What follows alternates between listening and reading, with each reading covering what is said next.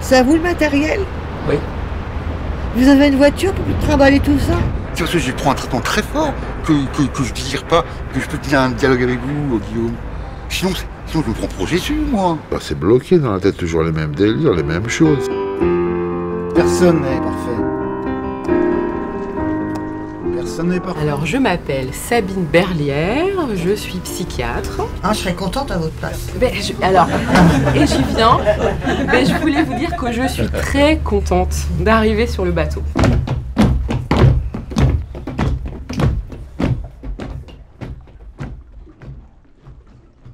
C'est la fin? Oui.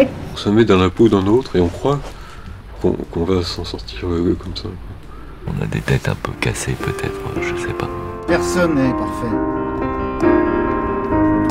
Personne n'est parfait. Personne n'est parfait. Allez. Il faisait chaud là-dessous. Ouais.